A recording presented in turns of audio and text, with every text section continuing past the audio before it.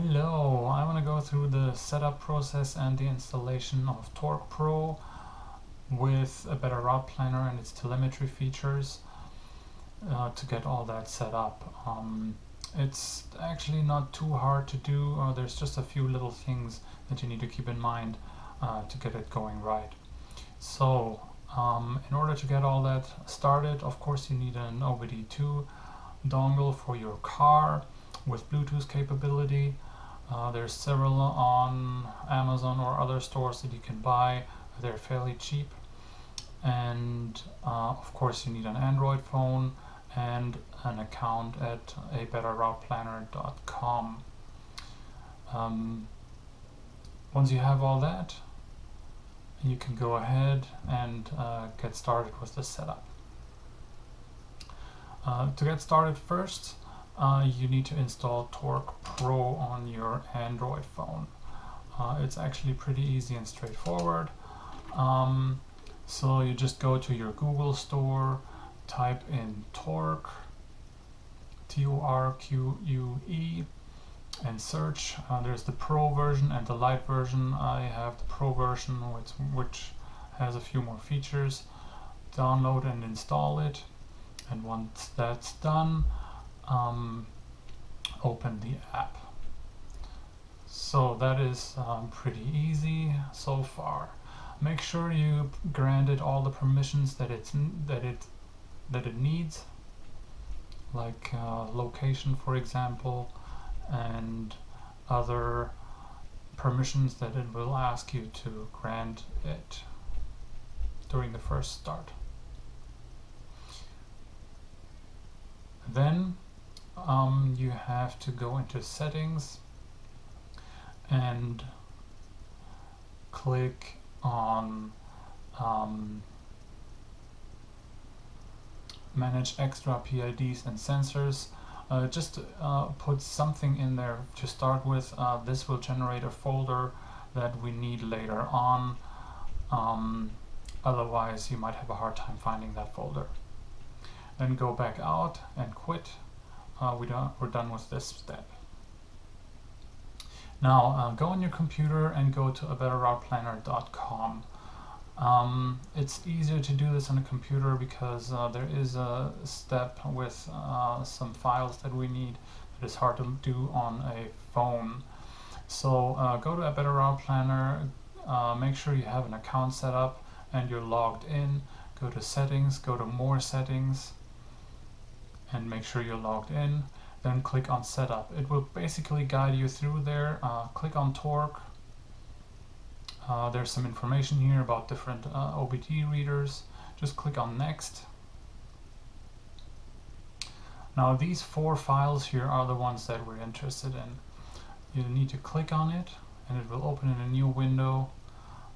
Save these files on your computer so you can just uh, save page as and save it. and close that tab. Continue on with the next file.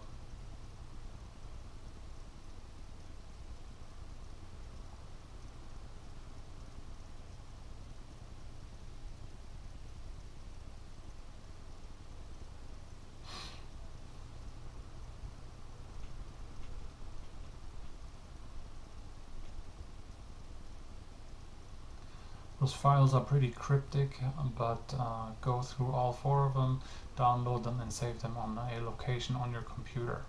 Now the next part of the process is to copy those files onto your uh, phone. So uh, go ahead and connect your phone to the USB port of your computer. You have to make sure that um, your phone is um, configured for file transfer go to USB preferences, click on file transfer, and that way it should show up on your computer. This might take a few seconds if you've never done that before. Now you should see your phone in your in your browser. Here are the four files that I just downloaded, the CSV files, onto the computer. Copy them, Control C, or right click and copy. Then go to your Android phone here, internal storage. Now this torque folder in the top left here, this is the folder that might not have shown up if you didn't do that one step.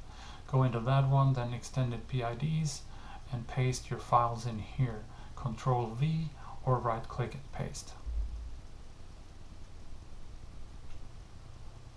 There we go. All our files are on the phone.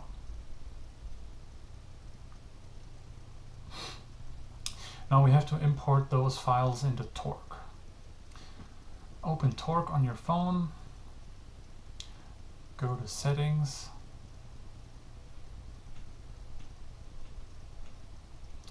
then go to Manage Extra PIDs and Sensors. Now here's one of uh, here's a standard one. Just clear that out. We don't need that. Do that through the top right menu there, go to add predefined set and add the four files. They should be on the top of the list that we downloaded earlier. Two, three, five, Kona and Niro, and the last one, the ABRP. Now those are all the addresses uh, Torque needs to know uh, to get the data out of your car. Get back so that it's saved. Then go back into settings and now we set up the uh, data logging and upload. Select what to log. It should be empty. If not, uh, clear the list. Select what to log. This will be the data that will be sent to ABRP, to a Better Route Planner. Here are the files, or the, the actually the, the PIDs. Just click all of the ones that uh, read ABRP. Now you have to scroll all the way down. There's a lot of um, information in here. You need to scroll down to 001 outdoor temp right there. And then continue scrolling down. We need uh, the GPS coordinates as well. They're all the way down.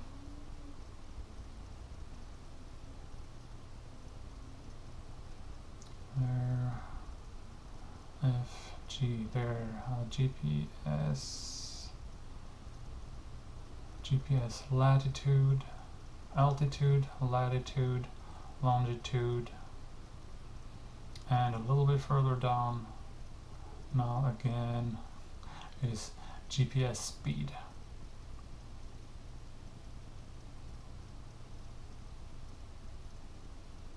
There, GPS speed.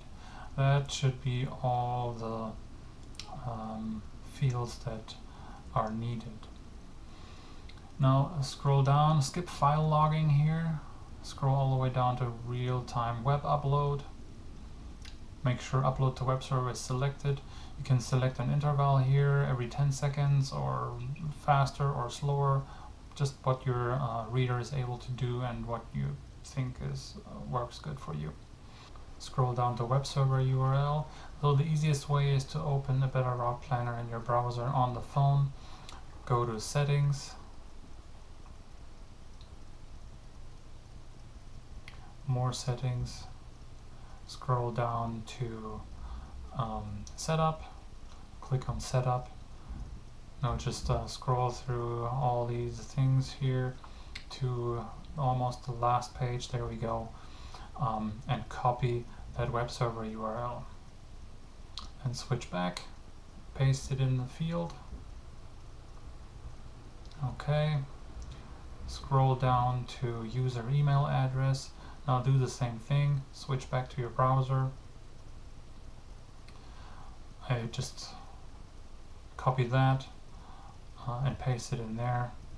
Since this is a specific code for you, um, I uh, blurred it out here, save it, and you're done. Now the next step is to connect your um, Torque Pro to your car.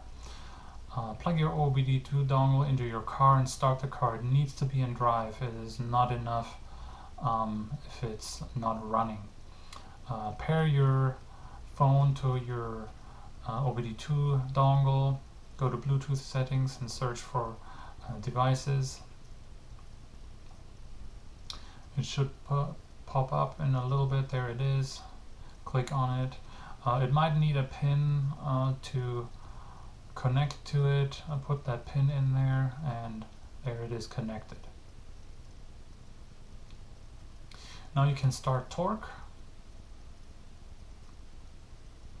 and it should connect. You can see the four icons up on top there, the blue icons. The left one blinking is uh, GPS, the phone, the Bluetooth dongle and the car.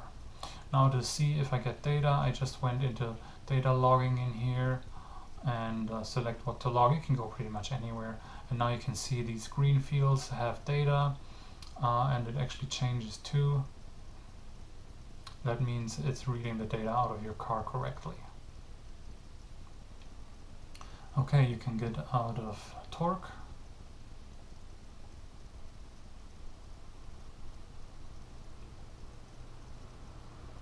The easiest thing to just uh, go into a browser. It doesn't matter if it's on the phone or on a on your um, computer.